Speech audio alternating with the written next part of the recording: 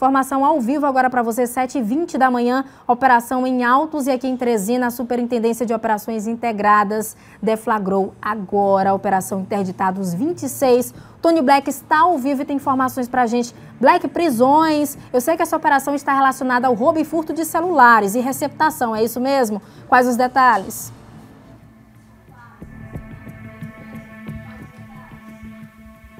Muito bom dia, minha preferida.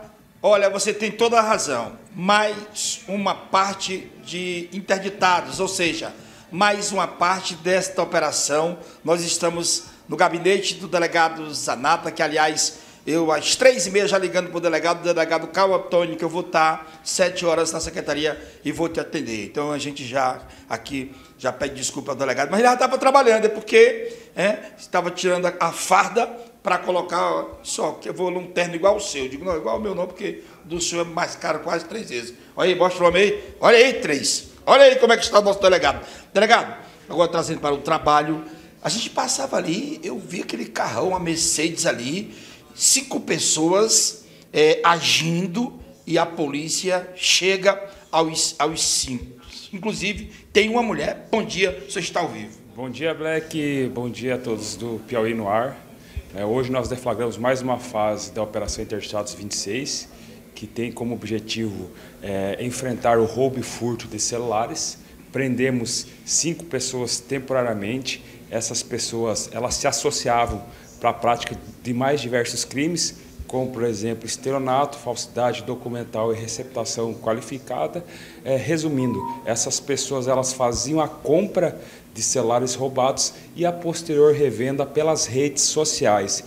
E para lubridiar as pessoas que compravam esses celulares roubados, elas produziam e entregavam notas fiscais fraudulentas, notas fiscais falsas. E para fazer a entrega desses celulares, eles usavam um veículo Audi, um veículo importado. Né? Então, é, é dessas cinco pessoas que foram presas é, temporariamente, quatro delas já têm passagem pela polícia Inclusive o cabeça já foi preso em flagrante por porte de arma, é, também já foi indiciado pelo crime de estelionato e receptação. E o que chama a atenção também é que todos, todas essas cinco pessoas têm apenas 20 anos de idade. Quer dizer, o crime começando muito cedo nos jovens. Inclusive tem uma mulher. Sim, tem uma mulher, né? Esses jovens têm uma boa condição financeira, no entanto, escolheram ir para o lado errado, né? ir para o lado do crime.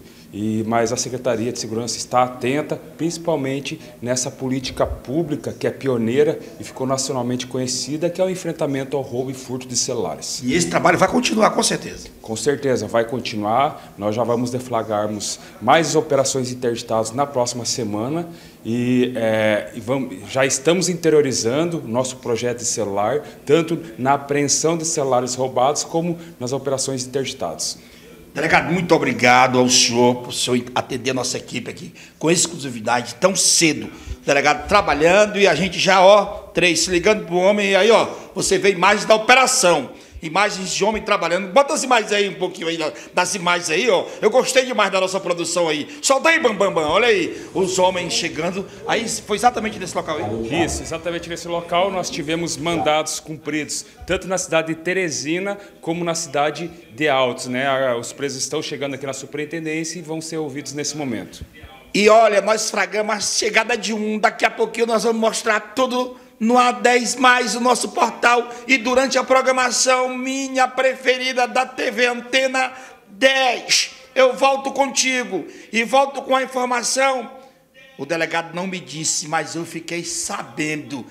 Tem o filho de um vereador, o filho de um vereador envolvido nesta confusão. Eu vou pegar mais detalhes para saber realmente aqui a coisa é realmente mais em cima. Volto contigo, minha preferida. Obrigada, Black, por tantos detalhes. Agradeça também ao superintendente Matheus Anata pelos esclarecimentos, pelas informações, pelo compromisso com a transparência com a nossa população, com a nossa sociedade e aqui através da nossa TV Antena 10. Muito obrigado, um excelente trabalho e eu fico muito feliz de noticiar essa transparência para o nosso público. É um trabalho que tem dado resultado e tem sido exemplo para todo o país. Isso não é à toa, gente tem resultados. Nós estamos mostrando aqui dentro da nossa programação esse combate ao roubo e furto de celulares. Maravilha, né?